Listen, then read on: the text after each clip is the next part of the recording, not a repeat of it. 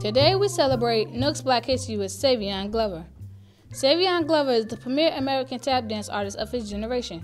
He was born and raised in Newark, New Jersey, and graduated from Arts High School. When he was only 10 years old, he made his debut as the title character in Broadway's The Tap Dance Kid and was one of the youngest dancers to be nominated for a Tony Award. Savion came to prominence choreographing and dancing in Bringing the Noise, Bringing the Funk. Other career highlights include five years as a cast member in Sesame Street and as the motion capture dancer for Mumble, the penguin in the animated film Happy Feet. Savion currently teaches at the Broadway Dance Center in New York. His trademark, fearless urban tap style, has transformed tap dancing forever.